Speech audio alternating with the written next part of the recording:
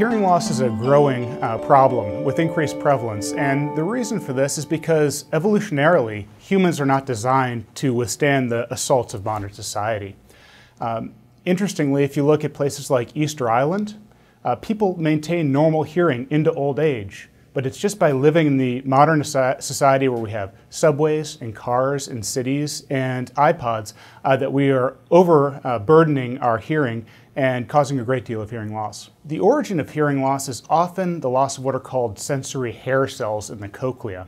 And these hair cells move in response to sound and create a signal that gets sent to your brain, and that's really the origin of hearing. Now, what happens with hearing loss is those delicate hair cells start to die off over time due to external insults from loud noise or certain types of drugs. When that happens, um, they are not naturally regenerated in mammals. Interestingly, many species like birds and reptiles, if you knock out their hair cells and wait a period of time, a month, their hair cells come back naturally and they can start hearing again.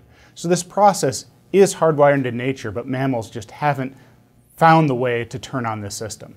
With many technologies designed to address hearing loss, they really just treat symptoms rather than the root cause of the disease, which is the loss of the hair cell.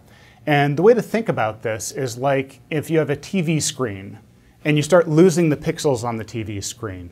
Essentially, what these aid devices do is they make the screen brighter, but they don't fundamentally replace all the pixels that are lost.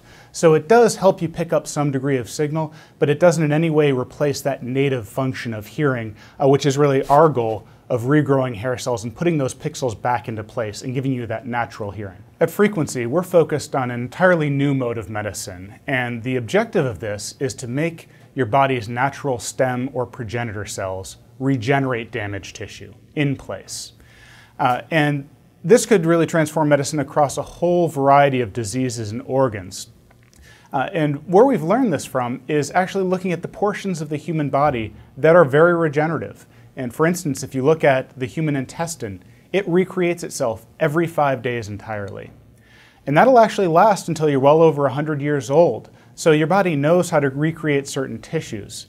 Our objective is to identify what are the local signals that cells get from their niche environment that tell them to start to regrow and start to repair tissue. So we could start turning on the dormant progenitor and stem cells that exist throughout the body. In order to make good medicines out of that, we focus on applications where those cells can be activated very selectively and very locally for a short period of time.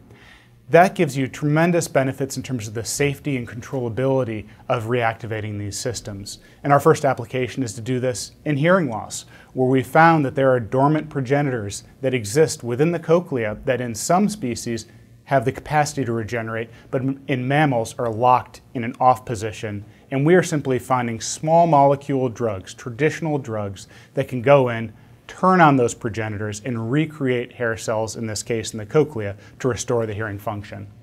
We frequently get asked about the difference between stem cells and progenitor cells, and while there's debate in the field uh, as to how to exactly define them, I think what's very important is to recognize the distinction between your body's progenitor cells and a pluripotent stem cell. Now, a pluripotent stem cell can turn into any cell in your body. Uh, it's really powerful and really flexible. The advantage of just activating progenitors in your body is they're generally most of the way differentiated from that pluripotent stem cell that can become anything into the final tissue. So they're really almost locked into their fate. So when you activate them, they generally only know how to make cells of one or two types. So this gives you a highly controlled system as opposed to if you're working with a pluripotent system, there's more concern about creating cell types that you don't desire in a given uh, application. Throughout the body, progenitor cells are often controlled by their neighboring cells. And what tends to happen is there's a neighboring cell sitting right next to a progenitor, which is constantly sending signals over to the progenitor. And this could be saying, continuously divide, which is commonly going on in the intestine. Or in the cochlea, it could be giving a signal that's saying, stay asleep. Our science is really to understand what are those signals that are being passed, what specific pathways are being activated by those signals. And then we say, how can we go in with chemicals inhibitors or activators of those pathways so we can selectively turn on the signals to drive growth where and when we want it. We're very focused on it, advancing our hearing loss uh, therapy, and this is part of a, a, broader platform we think of as progenitor cell activation, or PCA.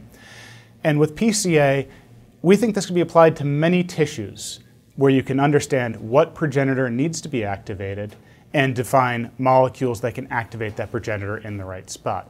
So you could think of many skin diseases uh, that this could address, everything from wounding to balding uh, to burns, other types of skin pathologies where regeneration is needed.